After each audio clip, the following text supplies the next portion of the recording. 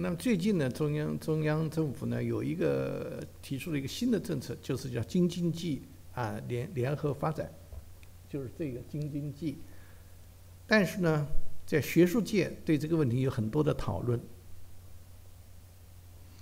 So, in fact, uh, the recently the central government has proposed that uh, Jinjinji, which is um, the Beijing, Tianjin, and Hebei region, uh, that they should have a joint development.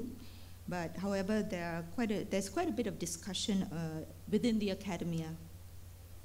那么提提提出京津冀这个发展战略呢，其中有一个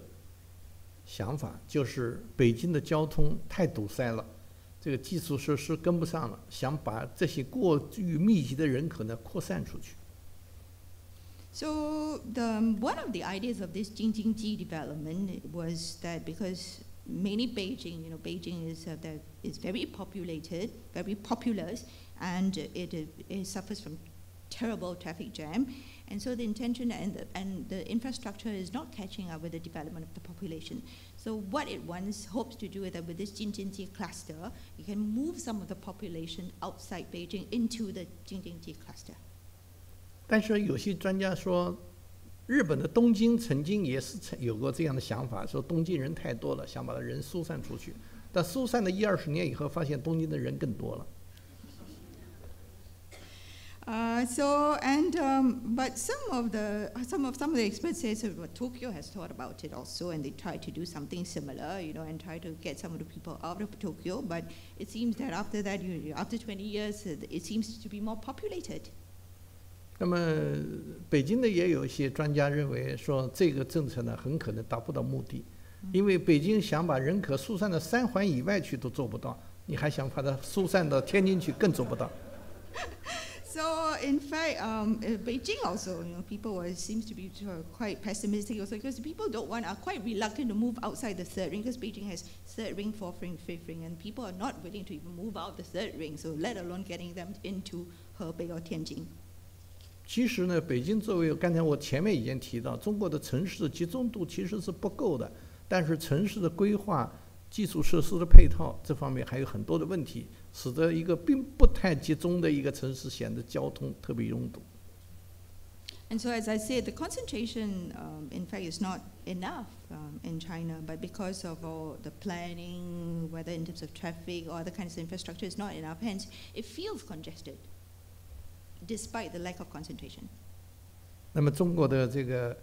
呃集中度这个表格已经看得很清楚了，因为长三角城市群是中国人口最密集的地方，但是和波士顿比，和五大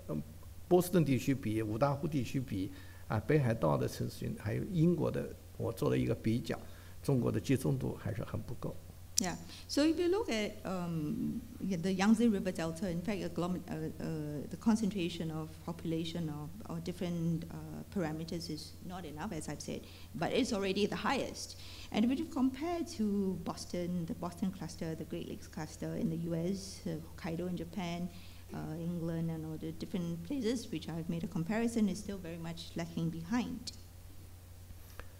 当然，中国现在呢有一个 交通方式可能会对未来中国城市化产生一个比较大的影响，就是高速铁路的发展，可能会将来更能够优化中国的城市群的空间布局。Uh, how, of course, there's one development in China which I think can help optimize the spatial distribution of the urban clusters in China, and that would be the development of the high-speed rail. 嗯，大家如果到中国去坐一下高铁的话，我我是最经常坐高铁，我发现除了北京的这个高铁站几乎是建设建立在市比较市中心的以外，其他的城市的高铁站，它是故意规划在离城市有一定的距离的地方，它是想形成另外一个城市中心。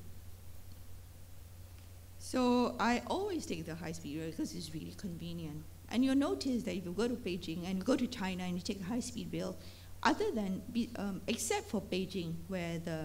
where the high-speed rail station is situated within the city, for the other cities in China, other Chinese city, the high-speed rail station is in fact deliberately built in uh, in a place where it's quite away from the urban center, the city center, so that it is a deliberate move on the part of the government to move some of the, to, to set up another city center away from the original city center.